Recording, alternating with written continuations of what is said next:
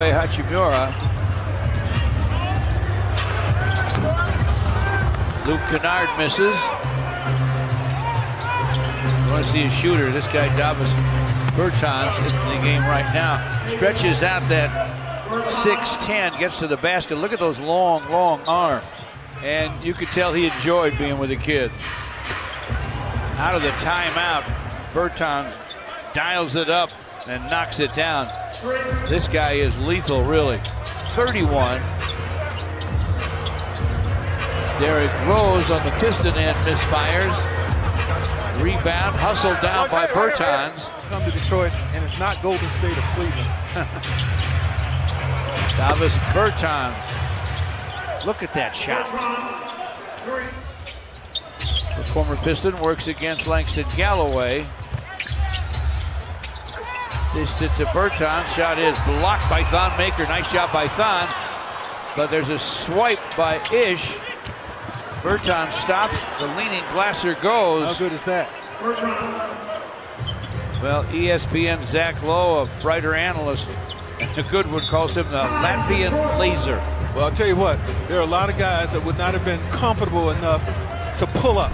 They would have tried to go all the way to the basket, probably would have charged. He was very comfortable, George, pulling up, going off the window from seven feet. This guy.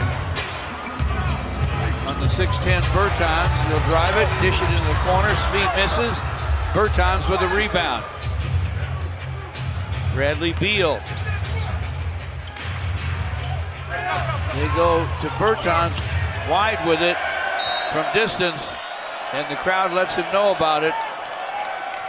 I think the fact that he was aggravated, I mean, hot Yeah. about a couple of no calls might have affected that shot. Remember as he did in the second half in Houston in the victory over the Rockets.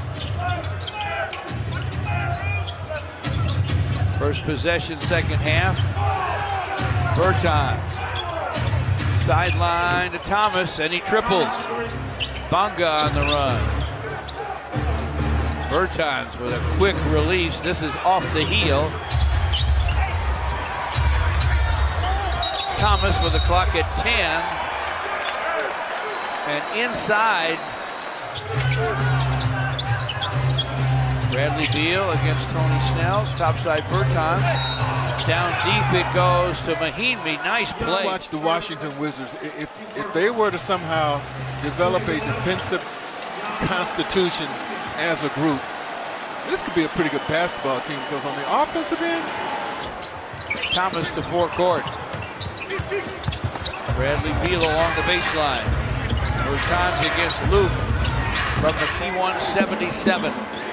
Bertans, topside three, around and off. Luke Kennard pitches it down deep.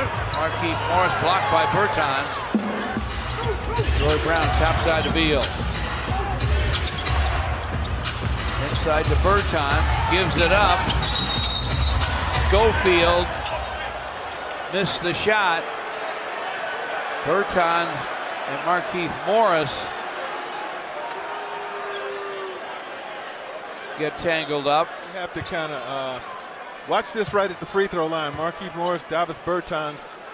Markieff deposits him. Bertans gets up, and George, I, I can promise you he was probably saying, come on, somebody. Flagrant foul one is the call.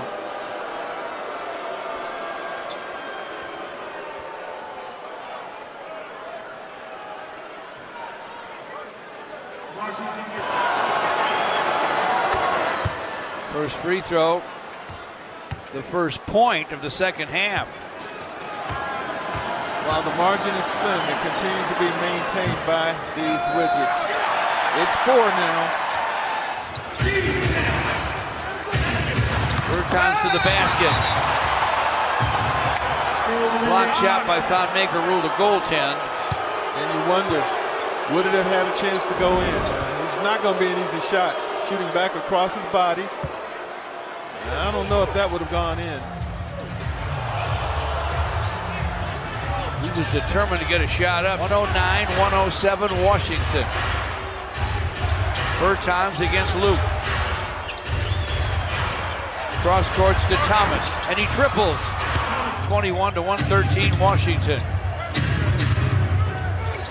Beal gets a Mahinmi screen. Bertans from distance drains it, falling down. He has a chance for a four-bagger. The whistle blows.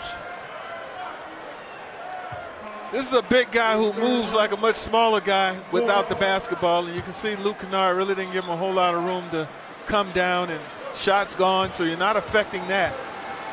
And here where he here's where he gets his three-point opportunity, with a four-point opportunity, which he cashes in. That was devastating right there. Bertans didn't score in the third. He has seven here in the fourth. Derrick Rose for three. Short. Rebound. And the Washington Wizards have surprised the Pistons here.